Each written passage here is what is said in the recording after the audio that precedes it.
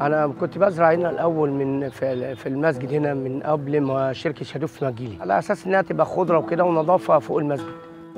أنا محمد طه من البساتين مقيم في عزبة النصر وبشرف على مسجد الهداية. شركة شادوف عرضوا علينا إن إحنا نزرع هنا هو. ففكرة كويسة إن فيها ربح وكده والربح ده بندخله في قلب الكفالة بتاعت اليتيم.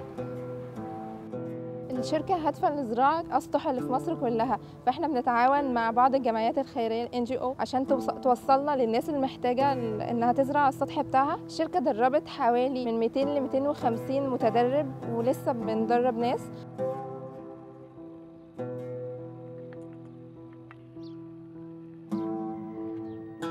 هي فكرة كويسة بالنسبة للناس تدي مك... للمكان نظافة وبدل الزبالة اللي بتبقى فوق الأسطح وفي نفس الوقت بتساعد زيادة في الدخل للناس.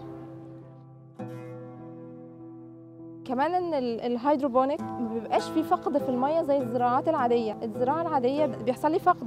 إنما ال hydroponic المية موجودة في tank بيفضل يدور المية ويطلعها وينزلها في في ال system. إحنا محتاجين إن يبقى عندنا ثقافة حفاظ على المية.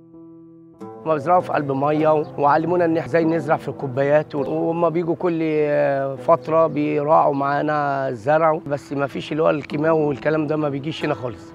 شركة شالوف لو توسعت والناس تفاهمت معاها إن هم يزرعوا فوق الأسطح ده يبقى خير من الله وخير للناس. في نفس الوقت هتبقى نظافة ليهم هم وتبقى الأسطح كلها خضراء يعني ممكن تقعد كده آخر النهار هنا في قلب السطح يعني تحس براحة نفسية على الأقل.